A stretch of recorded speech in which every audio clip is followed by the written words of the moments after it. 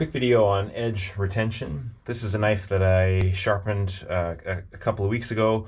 Uh, the knife is used in a professional setting, uh, so gets worked very hard, long hours per day, and has done a lot of cutting since I sent it out. Um, I, I, know the owner of this knife, so I asked for it to come back, even though it's still working pretty well, because uh, I just wanted to see how well the edge is holding up.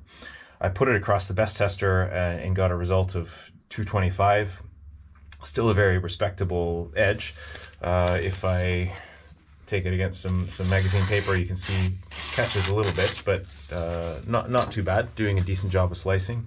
Um, edge retention uh, is an interesting topic because it's one that is uh, influenced by a lot of a lot of variables. In real world application, it's a difficult thing to quantify precisely. Uh, there are ways in, in, in labs or in a technical setting, but in the real world, uh, lot, lots of variables. Not not least of all the material of which the knife is is made, but also uh, the the surface that uh, that the, the knife is cutting against, uh, what it's cutting, um, technique, etc., can all influence how how well a knife will will hold its edge the reason that a knife uh, goes goes dull, besides besides damage, uh, is is if you have the, the the, the, fine apex, the point at the, at the edge of the knife, um, can can fold over, or uh, if if the edge is not well prepared, you can have sort of a jagged finish on the knife that, in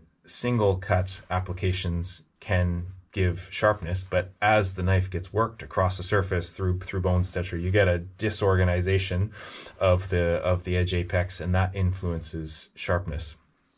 The way to protect against that or, or limit that or minimize that in, in, from from happening and therefore extend the the sharpness period of the of the knife is by honing so smoothing out the edge apex as much as possible so that you haven't got those jagged bits that can get bent and deformed and disorganized um, and seeing this result, 225 BESS after the amount of work that I know this knife has done is really encouraging. That shows that the the the, the, the technique, the honing technique that we're using at, at Great Edge is is working well and we're, we're sending out long lasting uh, edges to our customers. Okay, that's all for now. Uh, I'm going to get this sharpened up and back in the hands of its owner. Thank you for tuning in.